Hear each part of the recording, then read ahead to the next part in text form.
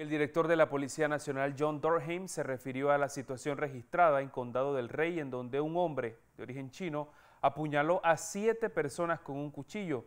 Una de las víctimas es un capitán de la policía.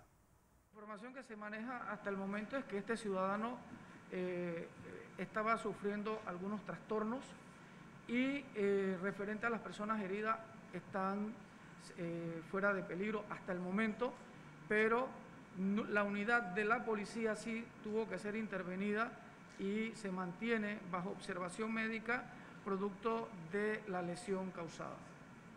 ¿Qué tanto le toca a ustedes como autoridad atender también este tema en el caso que estamos hablando de un tema de violencia doméstica, por decirlo así? No sé es, es parte de nuestro trabajo como Policía Nacional, a donde eh, se nos haga ese llamado, nosotros vamos a acudir y para eso eh, hacemos eh, gala de nuestro lema, proteger y servir. Estamos para proteger y servir a la ciudadanía y en eso estamos.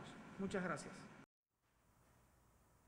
Temas como el blanqueo de capitales, el financiamiento del terrorismo, riesgos y listas grises de organismos internacionales, entre otros, fueron los abordados este jueves en el primer día del Congreso Internacional de Cumplimiento que se desarrolla en la ciudad de Panamá los días 20 y 21 de octubre y es organizado por la Asociación de Oficiales de Cumplimiento de Panamá.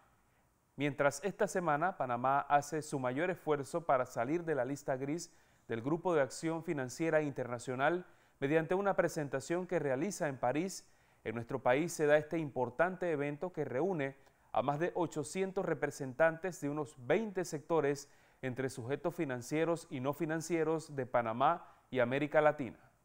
Mira, falta un buen camino todavía para salir, pero yo quiero alabar ese trabajo que se ha ido haciendo por los sectores, el sector financiero, no financiero, también por los entes públicos. Eh, y ahora mismo lo que nos hace falta es probar la efectividad, pero estamos caminando hacia allá. Yo tengo fe y creo que todos estamos, los que estamos inmersos en este tema, estamos claros en que prontamente vamos a salir de la lista del GAFI y eh, eso nos va a ayudar muchísimo. Esto, estas capacitaciones, estos congresos ayudan a, a fortalecer esos mecanismos en cuanto a fortalecerlo para salir de la lista gris. Claro que sí, este Congreso es parte de la educación continua y una manera de mitigar los riesgos, de mitigar ese, ese blanqueo de capitales es precisamente conociendo tipologías, conociendo cómo se mueve el delito y cómo va evolucionando, además de nuevas tecnologías y otros temas importantes. Entonces, claro que es un punto importante.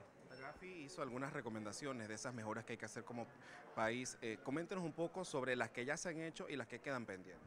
Fíjate, ahora mismo se ha estado trabajando muchísimo en el sector abogados, ahora mismo estamos trabajando en la transparencia del beneficiario final, se está en proceso de carga del registro único de beneficiarios, también se está trabajando sobre el tema de directores nominales. Nos falta eh, quizás un poco el tema de la efectividad en cuanto a las condenas penales, pero eh, creo que poco a poco vamos llegando a, a la meta.